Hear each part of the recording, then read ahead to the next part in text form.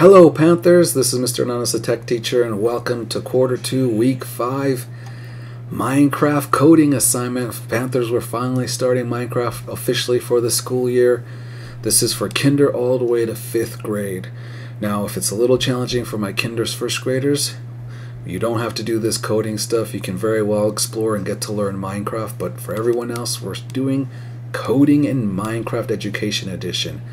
You can easily start this from home if you're doing this Monday or Tuesday, or I'll see you in class Wednesday, Thursday, Friday to do this in person. But otherwise, let's get to Minecraft to get started.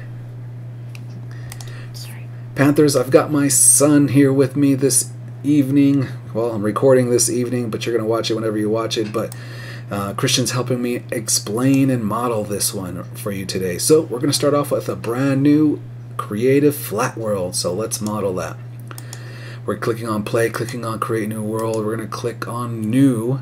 And on the right hand side, you can change the name to whatever you want. He'll change it to something for himself to remember. He'll change the difficult game mode to creative. He's changing to the uh, difficulty level to normal. You don't necessarily have to do that, but we're going to flat. He likes to show coordinates, and it's a really good idea to do coordinates, Panthers. And so we press play, and it's loading. And so we really, I really suggest when you're doing coding, whether at home in your own worlds or when you go to class with me to do coding, you do it in a world where you don't mind messing up, okay? If you've been in that world of yours that you've created those amazing houses and buildings and all that fun stuff, you don't want to do this coding stuff in those worlds unless you are sure and confident of your coding. Otherwise, you're going to be breaking stuff, unfortunately. Okay, it just it just happens. All right. And so when you get into your world, one of the first things you want to do to start your coding is press the C on the keyboard. So start looking for that C on the keyboard, Panthers. Christians is almost done loading. We're going to give it a moment more. And so now he's in his world, but we're looking for C on your keyboard. We're going to have Christian go ahead and press the C. And so Christian sees three choices. We want the top choice, Microsoft Make Code. Go ahead and click on that, Panthers. Now, some of you have done coding before. Maybe it starts right away in the coding uh, menus. And so, good, you're there already. But if you've never started, a lot of us younger Panthers, we might need to just press that pink one right away. And then it just takes a moment. Loading. Sometimes we just gotta wait, okay? We'll give it a moment. And so when you see this menu screen for all the different options of coding, you're, you're going to be probably amazed and maybe surprised. Maybe it's a little bit uh, overwhelming. But there's a lot of choices from very easy things to very complicated things. Some of the things are going to show you things step by step. Some of the things they're going to show you um, a little bit out of the time. All right?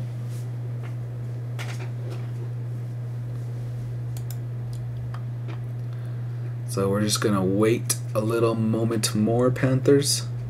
Please bear with us.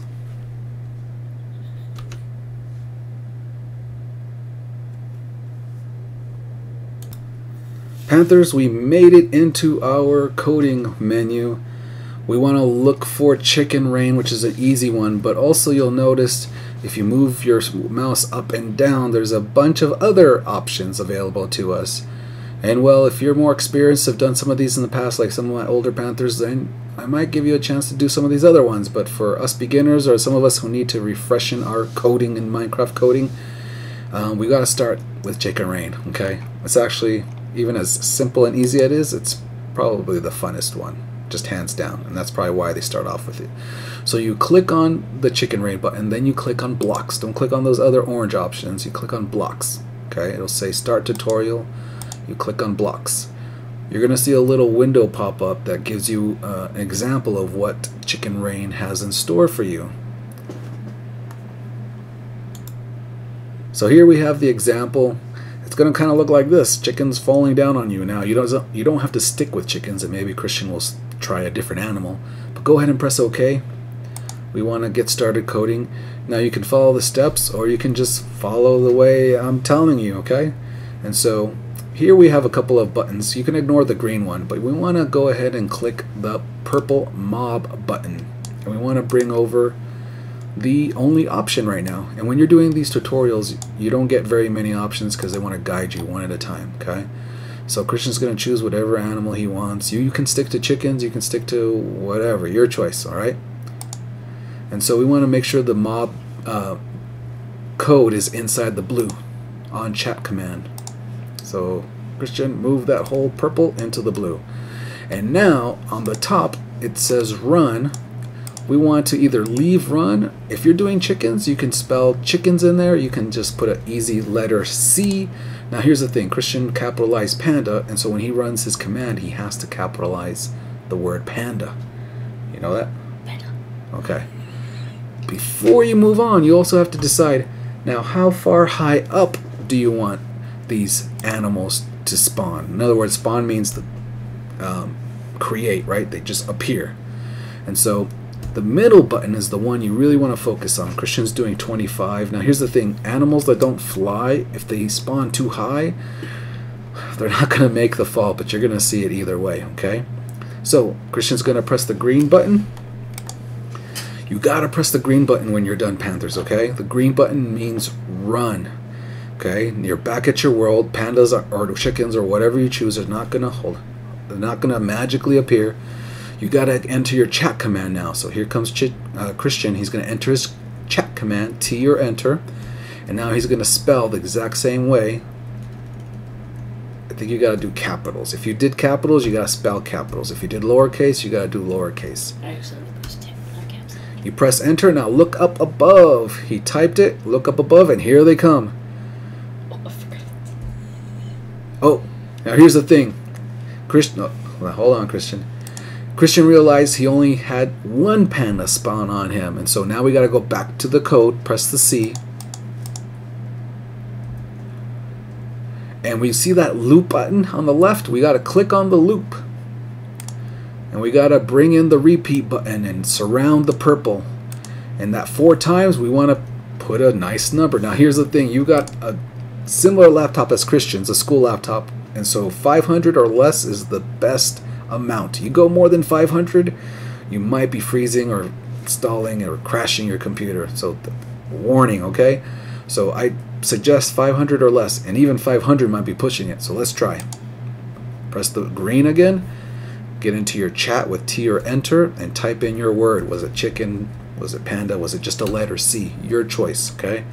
Christian's to look up, and now all these pandas are raining down. Oh no, pandas, you didn't make it. Poor pandas. Christian pressed F5 to be able to see our third person perspective, and you can see them. Oh man, oh yay, some of them are making it. Yes, pandas. If they tumble on their backs and rolling, I think they're making it, huh, mijo? Very nice. And so, I think that's it. That's most of our pandas, right? Or are they still falling? 500 is a lot. Now, Christian, before we leave, can you press the C one more time? Now, here's the thing. If you press C, you automatically stop your code, and so whatever is going on stops. Now, let's actually choose chicken so they can see chicken, what that looks like, okay? You can leave it at 100 if you want, or 500.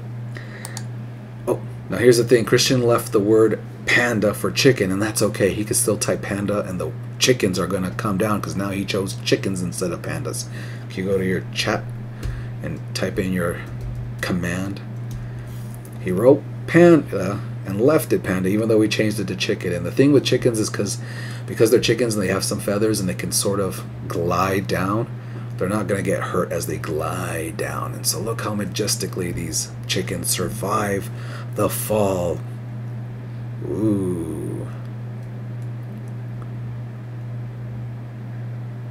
Pretty amazing, Panthers. So have fun with this chicken rain code Panthers, whether you choose chickens, pandas, any kind of animal, have fun, explore with this. It's a lot of fun. It's the beginning of our adventure. If you chose a different code, that's okay too, Panthers. All right? So try this out remotely. Try this out. Sorry, Panthers. Try this out remotely. Try this out in person when I see you. We're going to have a lot of fun with our first of four weeks of Minecraft Coding Panthers, alright? I'll catch you later. Bye for now.